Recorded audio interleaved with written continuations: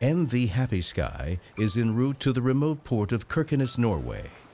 It's here in this most remote northern part of Europe, where deugro, Germany, is about to accomplish the first stage of an enormous logistic puzzle.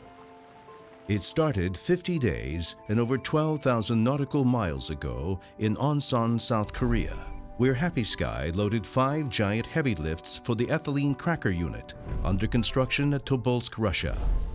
The five columns delivered by Linde Engineering will form the core pieces of the petrochemical complex. Once finished, the plant will produce ethylene, propylene, and butadiene, all important building blocks for the plastic manufacturing industry. The combined volume shipped on this vessel amounted to about 30,000 freight tons, with the biggest piece as heavy as 917 tons for the Tobolsk 2 project, deugro shipped in total more than 90,000 freight tons of oversized and heavy equipment, split on six voyages. This included the charter and mobilization of four seagoing barges, each with unit weights of over 1,200 tons. These were used for the on-carriage of heavy and oversized cargoes through the Ob-Irtysh River system to the project's final destination in Tobolsk, Russia.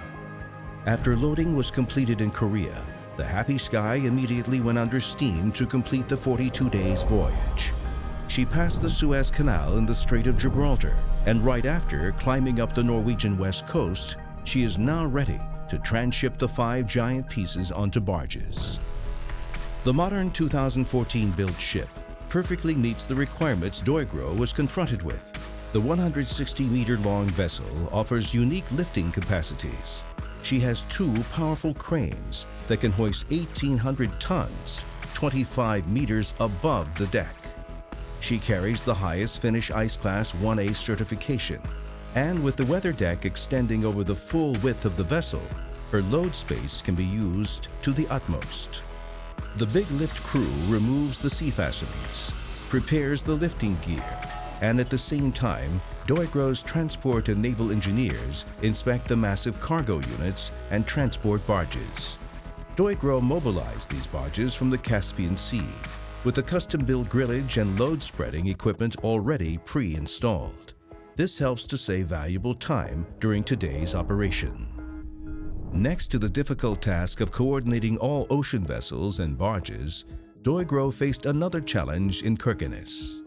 The only pier large enough for the transshipment was the city's old iron ore pier, the very narrow old iron ore pier. So deugro's project team visited the port ahead of the ship's arrival, inspected the dock, and measured the necessary clearances. With 24-hour sunlight, the transshipment runs like a Swiss clock. And shortly after the ship's arrival, all five massive pieces are one after one offloaded and secured onto the barges. Under the sharp eyes of deugro's client, the operation is executed safely, efficiently, and in full compliance of deugro's rigorous HSE standards. The barges now commence the final leg to the remote location in Tobolsk. The route leads through some of the most dense and isolated areas in Russia's high north, and eventually, after weeks of convoying through the Russian rivers, the barges safely arrive and prepare their prestigious cargo for offloading. Here in Siberia, Linde Engineering, as one of the world's leading international technology partners for plant engineering and construction, happily receives the heavy lift units deugro has shipped around the globe. deugro and its strong partners are proud to support yet another energy project in this region that adds to our total cargo shipped via the Northern Sea Route of 200,000 freight tons on 19 vessels in 2015 and 16 alone. deugro, solving great logistical puzzles every day, everywhere. deugro, minds over matter.